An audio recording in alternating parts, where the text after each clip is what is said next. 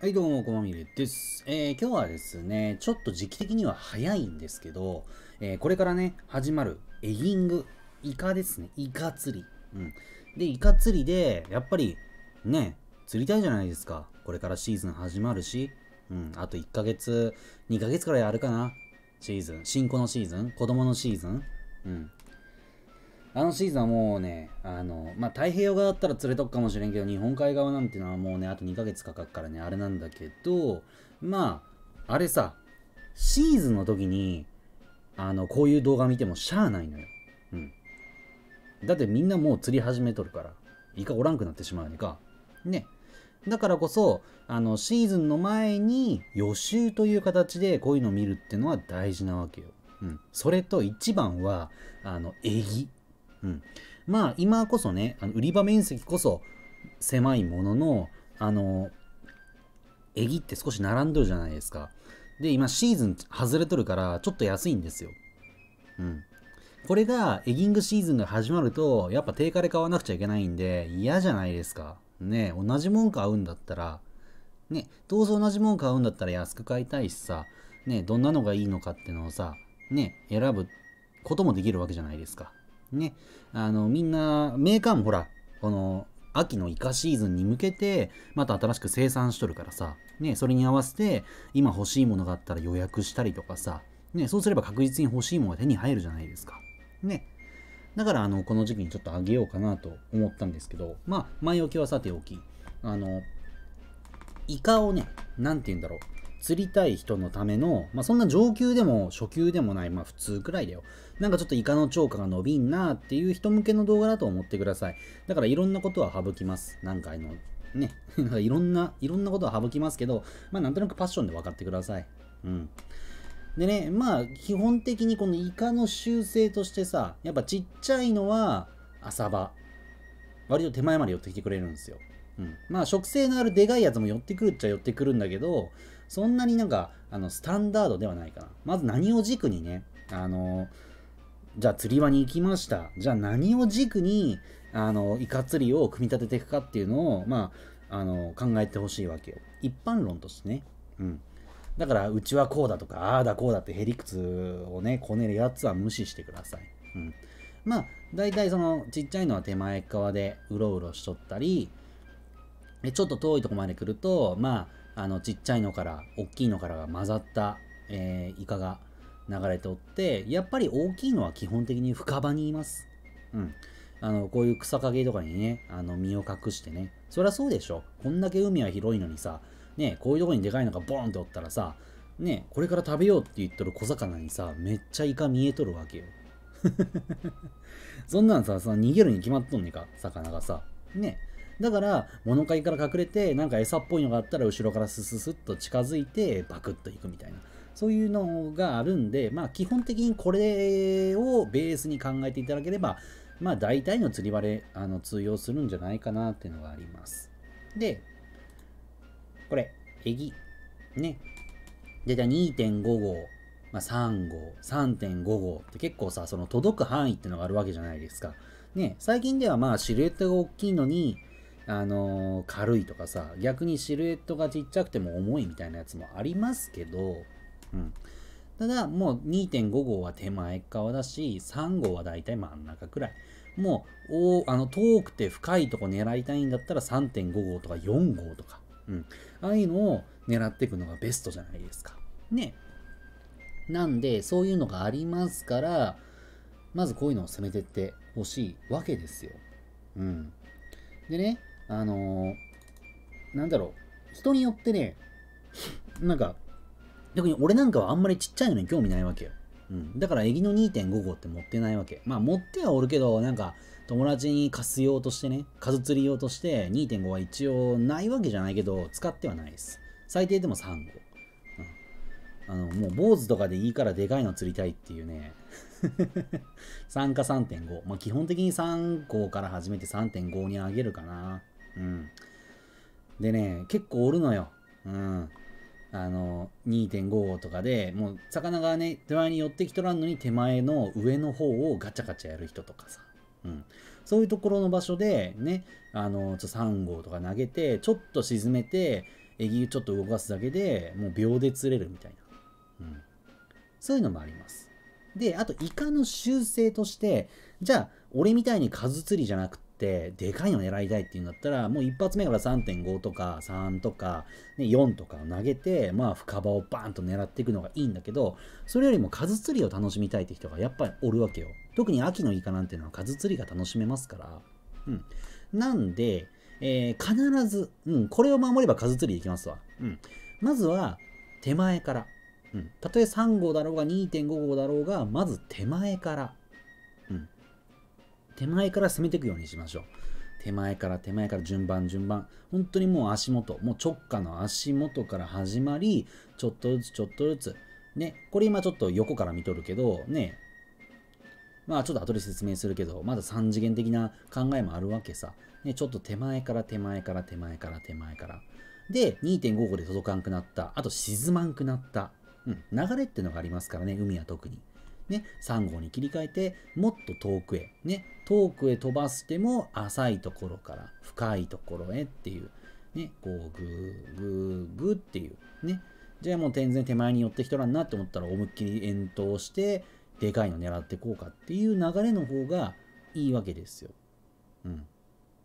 まあ、これもなんでかっていうのは後で説明しますね。で、これは横から見たこの縦、X 軸の流れというか、ね、Y 軸か ?Y 軸か。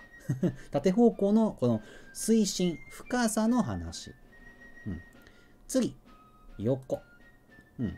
まあ、釣り場に立ってます。もちろん海ってのは流れ、潮流があるわけじゃないですか。ね、じゃあ、えー、自分の立っとる場所が一体右に流れとるのか左に流れとるのかってまずそこを調べなくちゃいけないんですよ。うん、まずこれが必須。数釣りをするにおいてはこれは絶対必須。なんでかっていうとイカって墨吐くじゃないですか。うん、その墨がね墨を吐くことによって他のイカとかベイトとかがあここにイカおるなってなんか墨を吐くような事態があったんだなっていうので魚が警戒したりとか散ったりするわけですよだから必ず数釣りをしたいのであれば下流から、もしも例えば流れが左から右に流れてる釣り場だとしたら、えー、必ず下流右から右の上から右の上からちょこちょこと投げていく。たとえここでかかったとしても、隅ビャーっと剥がれたとしても、右へ流れていくから、ね、こっち側におる、左側におるあのイカたちには影響しないじゃないですか。ね。だから、えー、そしてこの一緒。まあ、流れが下から上に上がっていく場合も上から下に上がっていく場合もあるけど変にこういうところでかけてしまったらあなんかここに隅あるって下から見とったらなんかあなんかあったんだなって逃げようかなってなるし、うん。ね、だから割ともう上からそして下流からっていうのがまあ絶対条件だと思ってください。数釣りをするのにおいては、まあ、関係ないぞ。俺は何も関係ないぞっていう人はもう思いっきりウェーって適用にあげればいいと思うんですけど例えば俺がよく秋のエギングとか行く富山のね魚津魚津港っていう場所があるんだけどそこの場合は、まあ、基本的に左から右に流れるっていう流れがありますんでまあよほどのことがない限り俺は流れの頭を取ります。はい。うん。流れの、流れの一番先端を取って、その、こう入ってくるイカに対して、もう適当にバーって釣って、まあ、後の人はもう墨が流れていくから、あの、ざまあ見ろと。他の、他のイカが散ってしまって、その流れの下流におる人たちが、あの、釣れてないっていう現象もたまにあります。まあ、逆に言えば、ね、自分より上流の人が釣っとったりしたら、自分の下流のところに、ね、自分のところに墨が流れてきとるっていうのも理解しなくちゃいけないんです。ね。場所によってはね、変えなきゃいけないっていう場合もある。ね。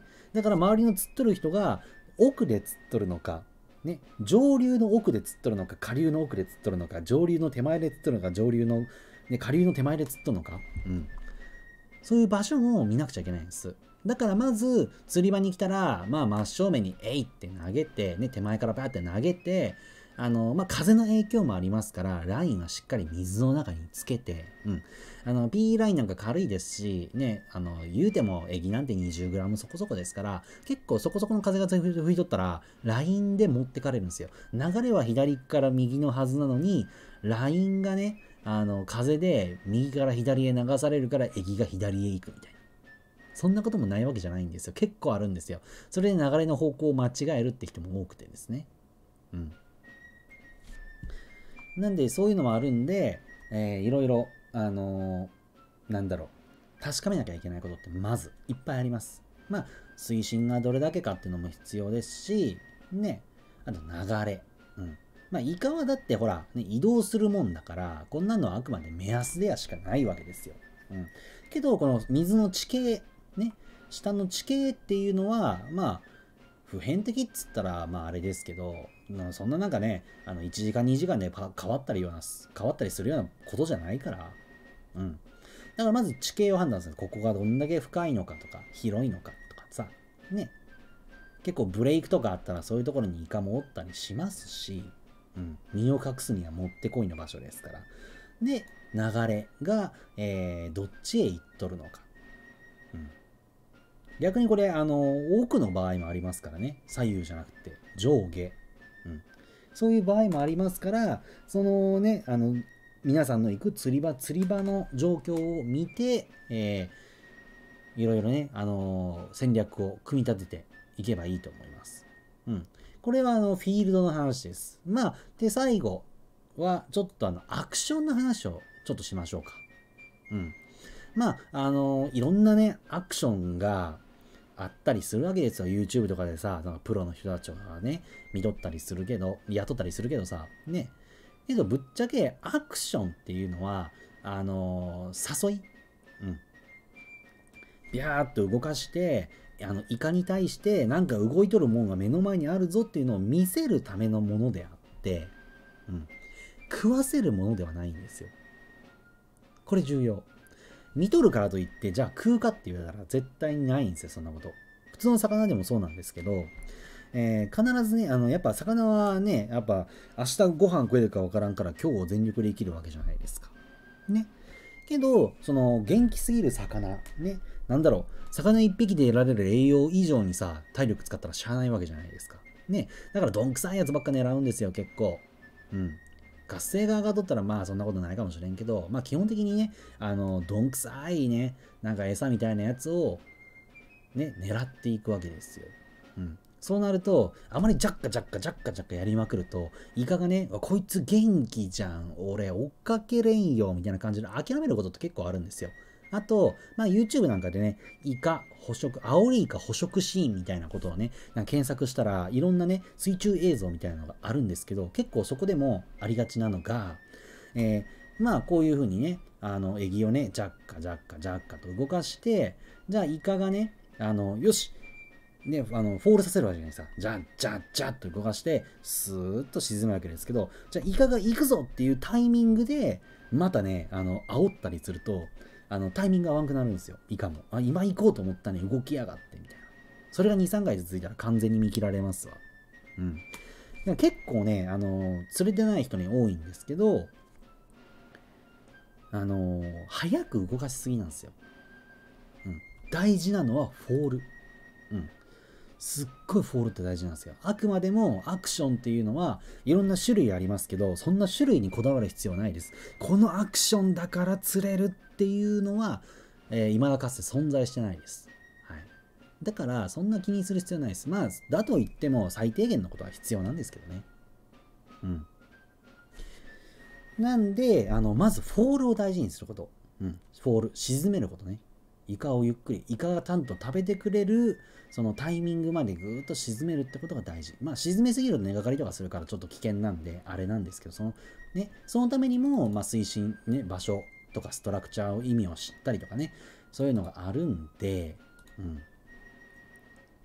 なんで、そういうのをしっかり、あのー、見ていくようにしましょう。だから本当にね、なんか、いろんなね、なんちゃらジャークみたいなのね、あのー、ごちゃごちゃ YouTube とかにも溢れ返ってますけど、正直、もう上にグッと上げて、カリカリカリカリって巻いて、ね、グッて上げて、スラッグ取ってね、糸吹けをガーッカリカリカリカリグッ、グッ、カリカリカリこんな感じでいいです、本当に。うん、でね、あのー、エギは、あの、フォールスピード。うん。大体、まあ、あの、止水の状態ですけど、ね、あの、止水の状態で測ってはおりますけど、あのね、流れによってさ、上から下に行く流れとか、右から左に行く流れとかで、フォールスピードって変わりますけど、大体そのパッケージに書いてあります。1秒でどんだけ進むかっていう。1秒でどれだけ、あの、イカが、エギが沈むかっていうのもありますから、まあ大体こういうもんなんだなっていう基礎知識を頭に入れて、うん、例えば、えー、1メートル、逆だった。ごめんなさい。1メートル、えー、3.4秒とかさ、ね、5秒とかさ、うん、なんかそんな感じの表記だったはず。うん。逆でしたね。うん。じゃあ、えー、水深が5メートルあります。ね。流れが、流れとかで息が影響されてないんだったら、まあ、あの、だいたい2秒とか、じじじじゃじゃ、え、5秒だから15秒とかが、で、ね、15秒、20秒ぐらいで着底するわけじゃないですか。ね。じゃあ、イカが中層におると、ね、わざわざ一番下まで沈める必要ないんですよ。さっきのイカが大体どこら辺で当たったかな、みたいな。うん。なんかパンチしてくるなとか、ピンピンとかってなんか反応があるんでね。なんか当たっとるな。そういうのを、あの、ちゃんとカウントすること。数をね。なんかしっかりぴったり1秒じゃなくてもいいんですよ、ぶっちゃけ。大体1秒。うん。大体、大体でいいんですよ、こんなのは。うん。なんで、もう、が、カリカリカリカリ、じゃカリカリカリカリ、で、スーッと沈めて。うん。っていうのを繰り返す。もうそれだけで十分です。まず最初、あの釣り、釣れない場合はそれでいいと思います。大体数を釣ってくると、大体パターンがわかります。うん。これは経験なんで、こういう動画では語れないんですけど、まあね、最初のあたりは、うん。だから俺なんかは結構ね、あのー、なんだろう、デュエル。うん。デュエル用釣りとかのエギを、あの足、足つきのパタパタの足ついてるやつよ。ああいうのを多用して、このフォールの時にパタパタパタパタして波動を生んでね、あの、いかに食わせやすくするっていうのをね、あの、結構多用したりするんですよ。それでまあ、超過は上がっとるんで、うん、結構おすすめです。まあ、他の動画もあるんでね、ぜひそれを見てほしいんですけど、うん。だからね、あのー、本当にイカ釣りっていうのはすごい簡単です。うん。人間側が勝手に難しくしとるっていうその要素が大きいです、イカ釣りに関しては。なんで、もう、あのこれくらいの情報で十分だと思います。はい。まとめ、おさらいしますと、あのね、まず地形を探ること。うん。大きいのは深場によって、小さいのは浅場か中層くらいにおるよ、みたいな。うん。ね。まず自分ところの釣り場のね、状況を知ること。どこにイカがおるかっていうよりも、えー、なんて言うんだろうな。あの、この足場、ここにテトラがあったらさ、こんだけしか沈まんしさ。ね、テトラを抜けたらちょっとめっちゃ沈むみたいなこともあるしさ。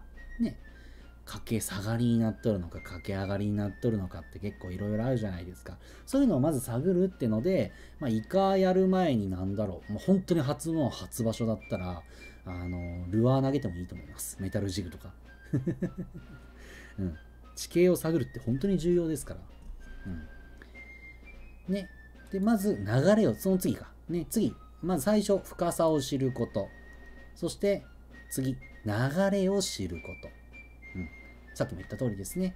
えー、上流、まず下流から順番に打っていくっていう。うん。そうすることによって、1匹でも多く釣れることになりますから。ね。そして、しっかりとフォールさせること。うん、これがすごい重要です。なんで、えー、ぜひね、あのー、これくらいシンプルでいいと思います。はい。